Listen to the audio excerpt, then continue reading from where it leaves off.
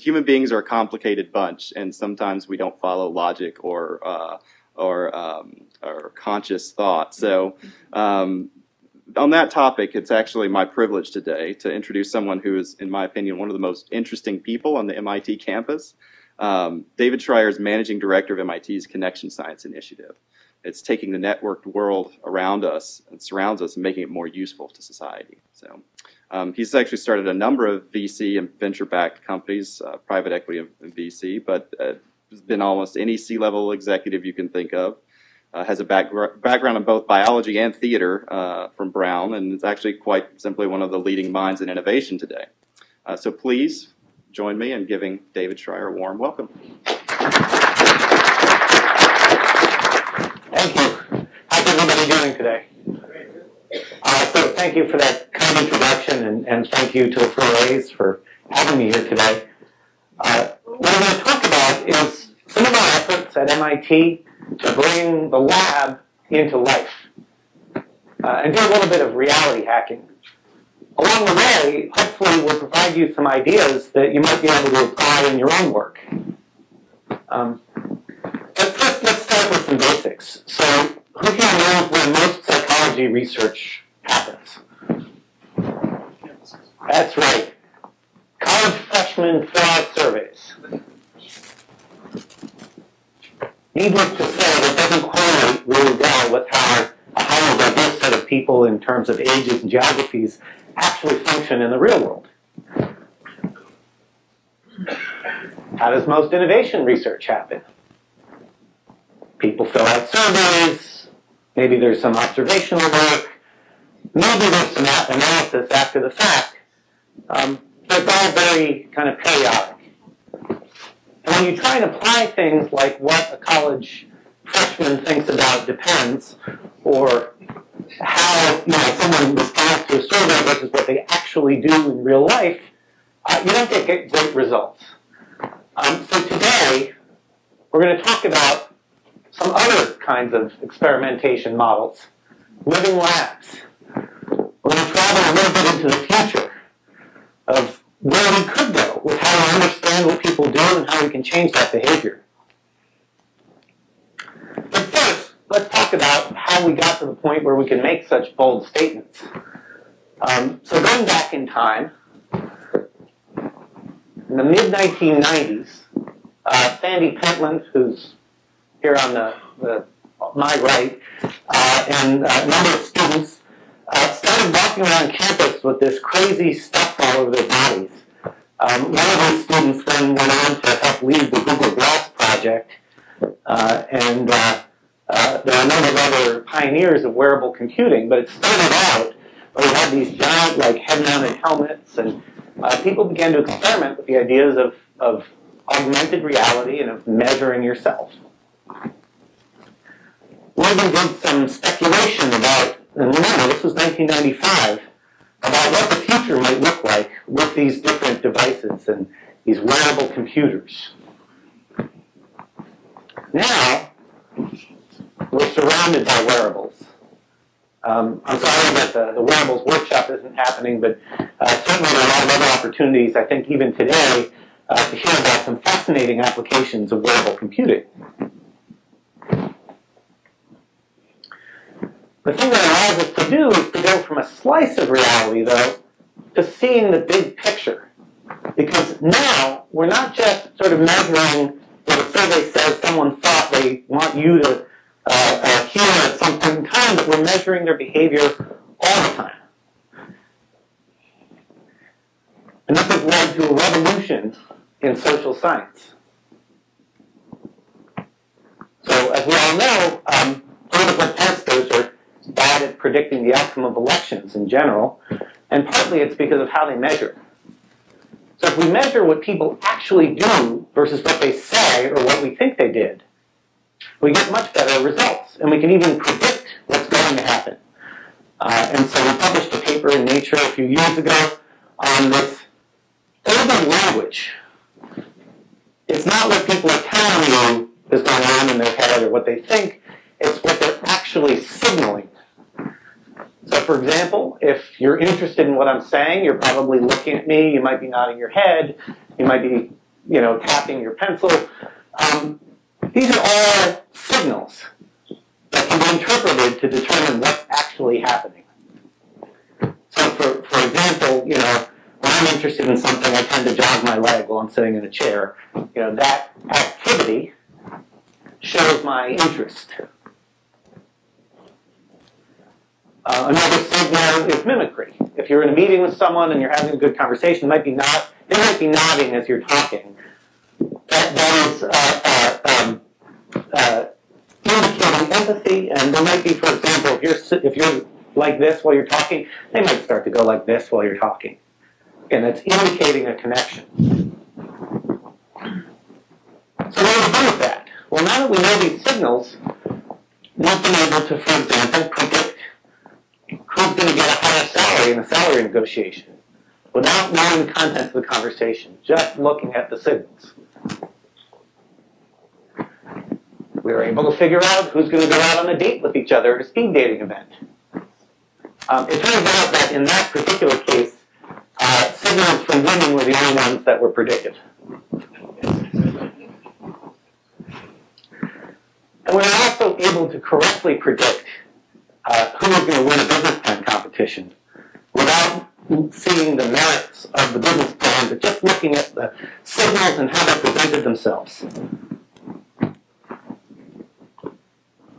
We've even been able to use it to look at psychological state. So there is an app for that. In this case, it's a spin-out company from our lab called Cogito. Um, and you know, you'll see this diagram, so there's one person on either side, and that blue bar represents who's kind of doing most of the talking. So you'll see one person is talking more than the other.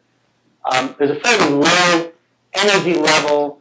The person over on this side has a halting speech pattern. There's what's known as low dynamism. In contrast, in this other conversation, there's a lot of overlap between the two people, and there's a high flow and a high energy level. These two different kind of interpretations of signals can be used, for example, in healthcare to see indicators that uh, there's a, mental health problem emerging and help with a telephone diagnosis that could lead to further intervention. Right? Well, why does this matter?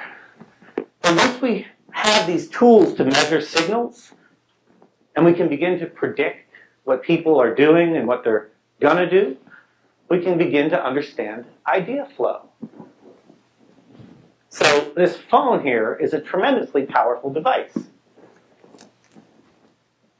By looking at how phones are in relation to each other, we can see proximity networks. Who do you hang out with at work? Who do you spend the most time with at work? We can see who you call. What does your call network look like? We can see you know which office building you work in and what office building other people around you work in. And of course, we can see what your social network consists of. Sorry, that's not G+. Um, it turns out that we've been able to stage interventions that, that are highly uh, uh, predictive. So now, based on these patterns of relationships, we can be much more predictive than, in this case, a traditional advertising uh, department of a telecommunications company at um, which friends are most likely to get you to download an app. And which friends uh, are not likely, if they say, oh, this is a great you know, sports information package I got for my phone, are you going to listen to them and get that same package for yourself? Far higher degree of accuracy than what the sort of traditional models allowed. Um, but it turns out that your Facebook friends aren't really your friends, unless they happen to be in one of these other networks. That the social network by itself can't predict who's likely to influence your behavior and get you to download an app or uh, purchase a data plan. Um, that it's the, the physical world, the real world network of people who you actually see or actually talk to on the phone who actually influence your purchasing behavior. Far more so. Um, we took this a step further and we started looking in, in this case, San Francisco. Those little dots are people. And the bigger dots they're starting to form are places where they go to.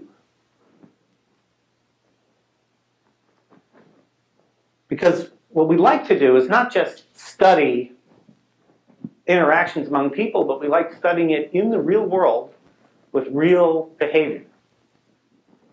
These colored circles indicate clusters that are starting to show up of people who hang out with each other. Because remember, we're looking at the phone, it's showing us which phones are next to which other phones, so now we can begin to see which people are hanging out next to each other. And those clusters, even though they kind of look like blobs on, on, the, uh, uh, on the map, I'll let the animation run a little more for the, uh, the transformation. Um, those clusters begin to show us who really influences your behavior in a lot of different dimensions. Okay, looks like it's not cooperating. So, for example, all the red dots happen to be people who like red dresses. They're not in the same zip code. They might not even work at the same company, but they go to the same bars and restaurants, and we speculate that they're friends, even though they don't live in the same neighborhood. And this other cluster over here, um, these people have bad credit. Just think about that for a minute. Why would that happen? Well, we figured out that these groups of people are friends with each other. And if your friend's at the bar with you and says, yeah, I'm not going to pay my credit card bill, they can try and sue me, you are more likely to say, you know, that's a good idea.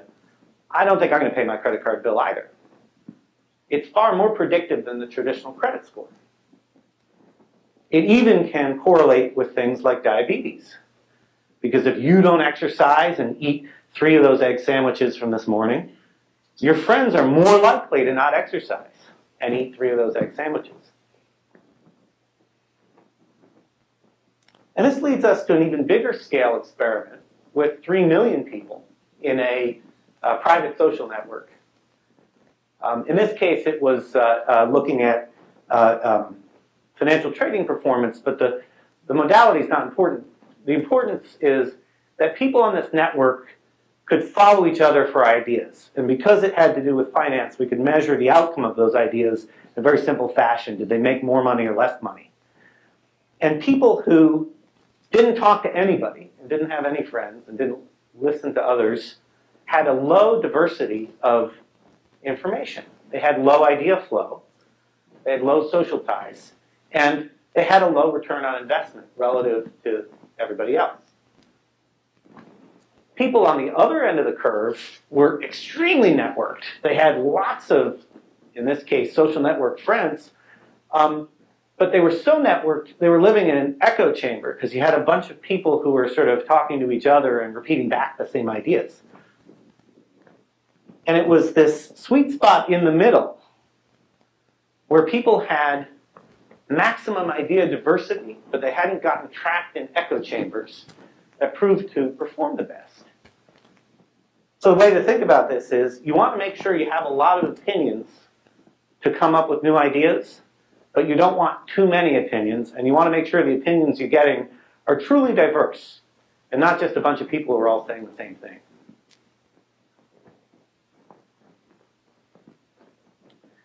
And so thinking about how you spread those ideas, let's go back to the group. Let's say we're having a meeting and there are six people around the table. If one or two people dominate that meeting, it is proven to be less productive and innovative and is scientifically less intelligent. That group will scientifically have a lower collective intelligence than, uh, irrespective of, of the individual intelligence of the members a group where everyone's contributing ideas, where you have a balanced meeting, where a bunch of people are participating equally, has a higher collective intelligence and a better productivity and better innovation and better idea flow. Um, so we made another app for that. Um, it's, uh, it started as a student hack and was called the Jerkometer. Um, we later called it the meeting mediator, but it was a little device that sat in the middle of the table and as you were talking, the, there's a little ball in the center of the screen. It would float towards you, and it'd get paler and paler and paler because you're sucking the oxygen out of the room. And if someone else started talking, it started to float towards them. And so the point was to try and keep the ball in the center of the screen, and it actually ended up working uh, incredibly well. Even people who said that's bogus ended up still changing their behavior and allowing for more balanced discussion. So this notion of collective intelligence is integrally tied to the idea of idea flow, which is at the core of our work in living labs. So we took a look at a company, and you can't see the labels on these boxes, I apologize very well, but this one here is management, and then development, sales, support, and then the one over on the far side there is customer service. Uh, and the blue things are emails, the blue lines, and the red lines are face-to-face -face communications. So this was an example of where we started creating a living lab inside a company to look at this question of idea flow and collective intelligence. And lo and behold, um, you see lots of emails going back and forth. The first four groups met with each other a lot, and no one really talked to customer service until suddenly there was a product launch, and then there were a lot of conversations with customer service. Um, and, and they, they had a real sort of problem because they kept pushing out products that were kind of broken, and then they had to fix them after the fact. Um, and so what we did is we looked at how people were connecting with each other, and it turns out customer service was sitting around the corner from everybody else. So this integrated product group, everyone would see each other in the hallways and talk and exchange chit-chat. That chit-chat, it turns out, is incredibly important to successful productivity and successful innovation. Uh, and we relocated the product group, sorry, the customer service group into the middle of seating with everyone else around them. Uh, and the productivity shot up 17%. Just by identifying a flaw in the idea flow and changing the patterns. I'll talk more about the engagement versus exploration in a minute. But this is predictive. We've even been able to do it at the, at the sort of uh, the full-on city level, not just a neighborhood in San Francisco, but entire cities across the U.S., um, and found that high idea flow is highly correlated with any way of measuring innovation productivity that you'd care to use. Patents, number of startups, GDP. The only exception to this was Washington, D.C., which has a lot of idea flow, but not so much of the other stuff. So what have we learned? Well, we learned that how people talk to each other is incredibly predictive to how innovative their group is, how creative they are. We've tested this on ourselves as well. We, some of these early experiments, experiments started out in, in, inside the Media Lab, but we've now bridged out beyond that. Um, we tried an interesting experiment. We, we looked at about 700 people of many ages, 18 to 60, uh, and we gave them intelligence tests. And then we gave their groups, we put them into groups, small groups of two to five. We gave their groups intelligence tests. The group would have to work for a couple hours on a task of, based on certain models. Um, and what that helped us find out is what's the best way to put together a team? What's the optimal structure for a team? So teams that had women on them performed better than teams that were all men. And also performed better, although not, uh, not as much better, as teams that were all women. So remember what I said before about everyone wants to provide a balanced conversation in the meeting? Our data best suggests that people who have a higher emotional intelligence are going to detect those signals that say someone wants to make a comment and make a contribution, and they'll make room in the conversation for that to happen. And on average, women have tended to score higher than men on emotional intelligence tests. But when we went back and looked at the data at a very granular level, um, whether you're a man or a woman, if you have a high emotional intelligence, you contributed to higher collective intelligence in the group. And so it was far more predictive on the success of that group than the highest IQ of the individual member of the group or even the average IQ of the group.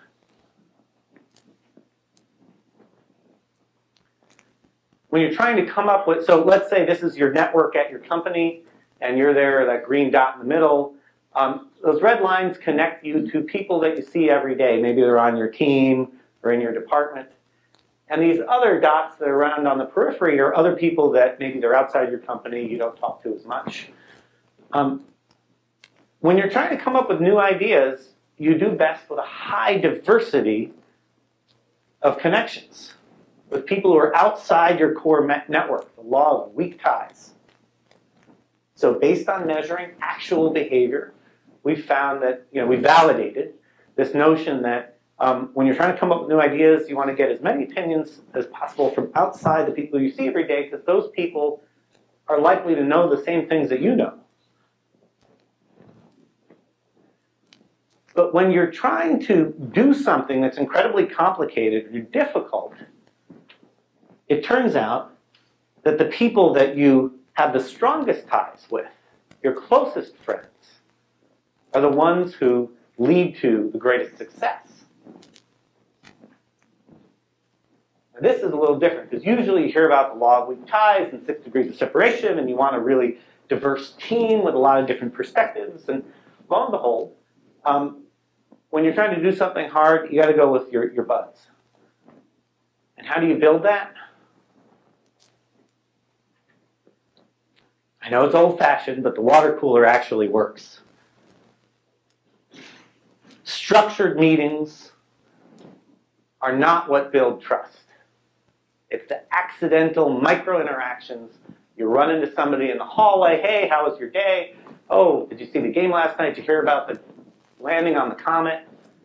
Those kinds of micro interactions are incredibly important for encouraging trust to the point where then, if an idea occurs to you, you're more comfortable just popping your head in someone's office and saying, hey, I want to run something by you. Which is what's necessary for those rich long-term collaborations. Um, so uh, uh, the, the move to eliminate at-home workers at Yahoo, however unpopular it was, actually had some pretty solid foundation in, in uh, scientific fact. So we took all these tools and we started deploying them out in the real world with real people. So across the river at uh, MGH, we've started a living lab for health with 15,000 people, the MGH employees, to try and deliver on the promise of personalized medicine. Um, in Trento, Italy, the government there is trying to build a better rapport with its citizens and deliver better civic services. Um, at MIT, uh, you may have seen the Great Bitcoin Experiment, uh, and other experiments will be coming that uh, take advantage of our own campus um, and in Luxembourg, we're trying to uh, do some innovative things with, uh, with the law and how people interact with the law. So imagine you had TurboTax for contracts, and now two contracts can negotiate each other, you don't have to pay the lawyer. Um, not very popular with lawyers, but very popular otherwise. And we also deploy these living labs into corporate environments, including highly creative environments. Because these living labs let us expose culture, which, as Peter Drucker said, eats strategy for breakfast. So I've shared with you the notion that you know, your iPad and your phone can be this incredibly powerful sensing device that let us see what's going on. We take all that data, maybe we merge it with other data,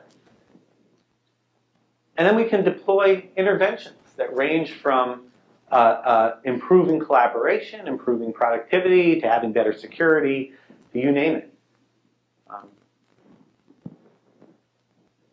Because um, once you've got these devices sort of instrumented up and, and tied into the system, we could figure out that, you know, these three people hang out with each other a lot and collaborate a lot and they trade a lot of emails and These two have lunch in the corporate cafeteria, but they don't see each other otherwise. And these two never talk to each other. But I bet if you asked them, oh, Betty, what do you think of Sally? She'd say, oh, yeah, she's great. But the data might reveal that they never talk to each other. So how can they possibly collaborate well? We don't even need to know the language because it's not about the content of the conversation. It's about the pattern of communication. Are you talking to each other? Is one person talking, the other one listening?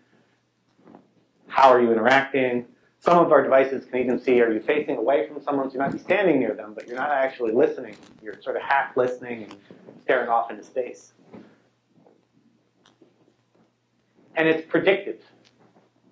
So based on measuring all that stuff, we can actually predict which teams are going to do better. And once you've figured that out, you can begin to stage interventions to improve the performance of the teams that are not doing so well. Uh, there's an article in uh, Harvard Business Review on the new science of building great teams. So uh, low performing teams are dominated by a few individuals. High performing teams have a rich collaboration. And once you can begin to see the team dynamics, you can then lay that into the entire network of the company and figure out how's your organization doing? Could it do better? How?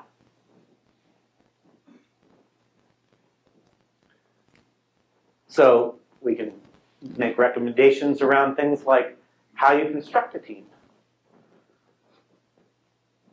Make recommendations about how your office layout functions. Even do it on the phone. So remember that meeting app I mentioned, the, the Jerkometer? There's a phone version of it too, because in reality, we can't have all meetings in person. We do have to have phone calls.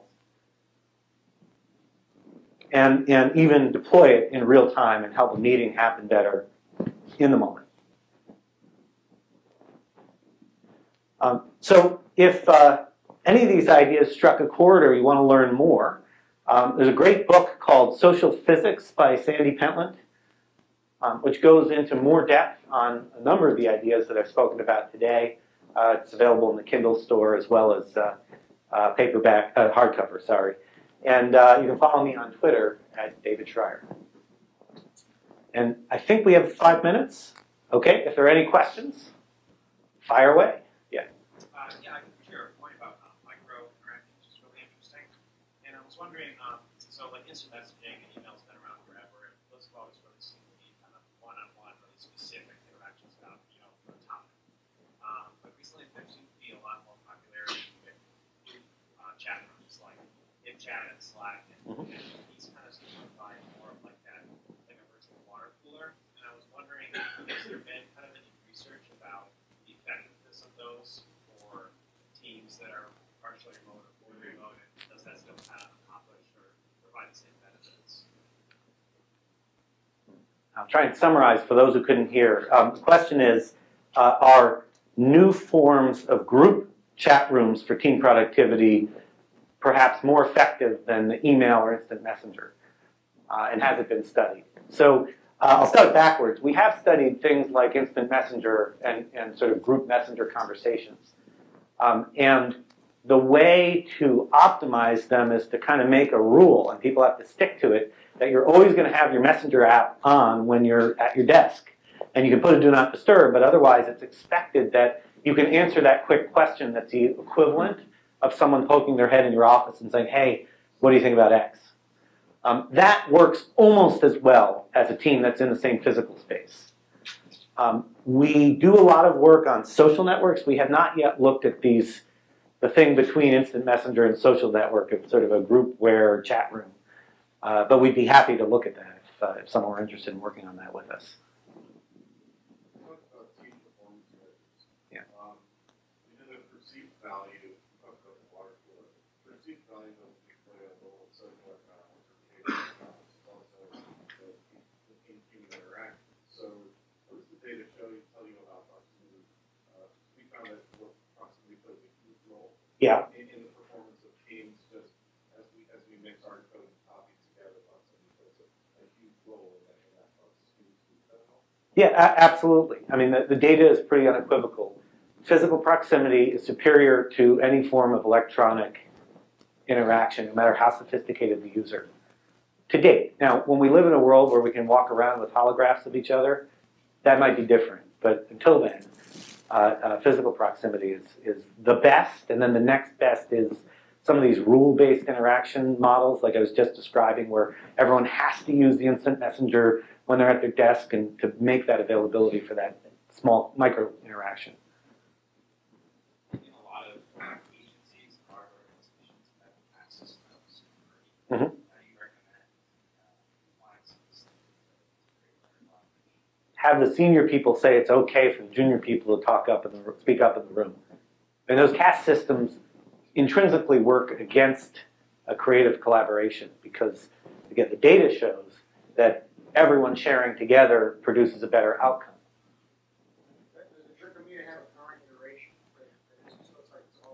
No, it, it- we are working on yeah,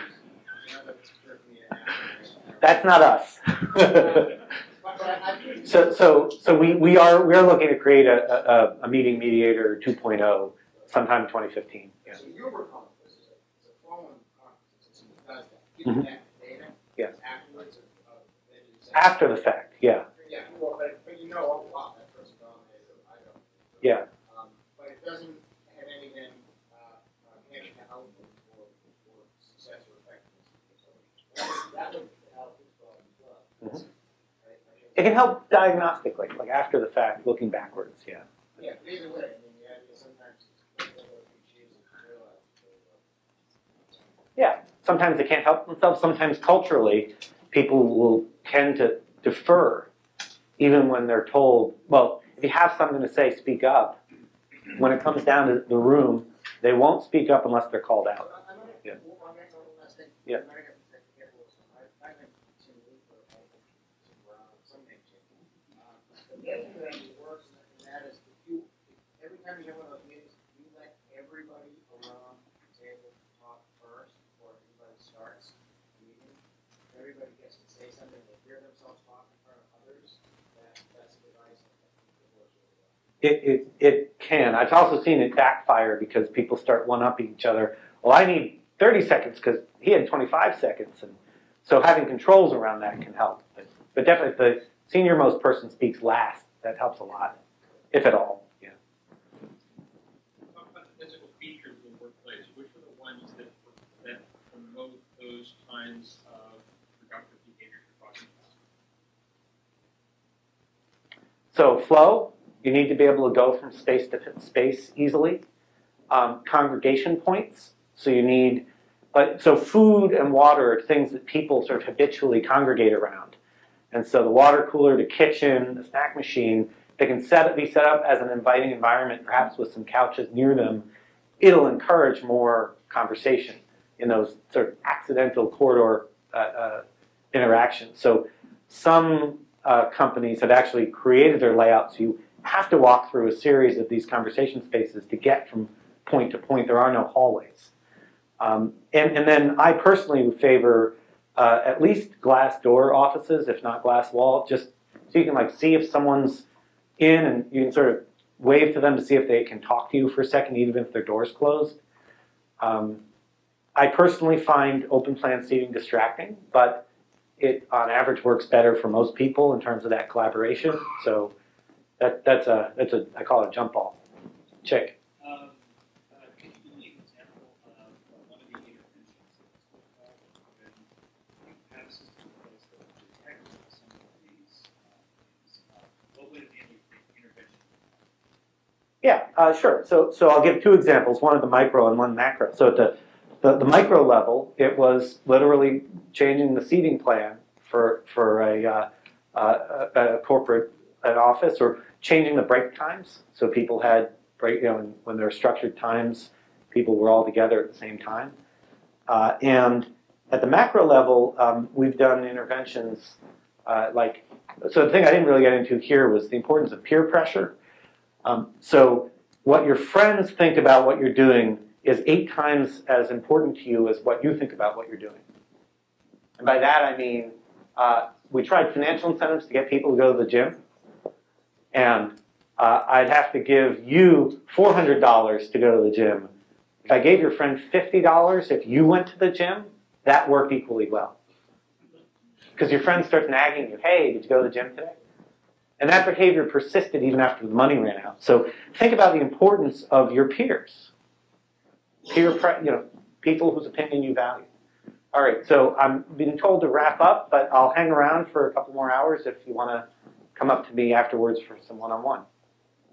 Thank you.